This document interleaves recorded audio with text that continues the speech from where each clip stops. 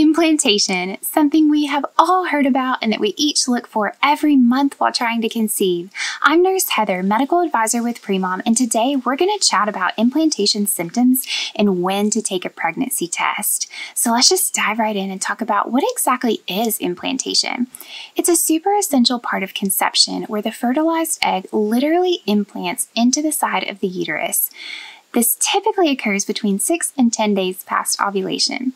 While not all women will experience implantation symptoms, others have reported light bleeding or spotting, cramping on just one side, most likely where implantation is occurring, bloating, breast tenderness, nausea, and a change in cervical mucus.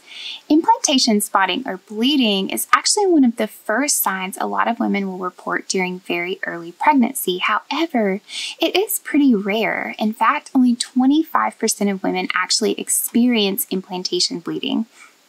In comparison to a period, it's typically a lot lighter in color and amount. Usually it's only seen upon wiping as it will not fill a pad or a tampon and it usually only lasts for a couple of days where a period can typically last between three and seven days.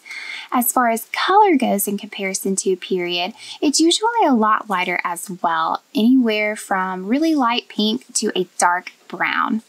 So unfortunately, it can be difficult to know Am I experiencing implantation symptoms or is my period coming? The best way to know is to take a pregnancy test between 12 and 14 days past ovulation. Um, another way to test for pregnancy is to make an appointment with your doctor and have a blood HCG test drawn. And an, also, another fun way to know if you're pregnant without even taking a pregnancy test is to track your basal body temperature. With the Premom app, it makes it easy to track your temperatures by entering into the app and it will create this chart for you. And after you have 16 high temperatures above your cover line, you can almost guarantee that this indicates a pregnancy because progesterone is high and that's what makes our temperature high and that's the hormone that supports your pregnancy.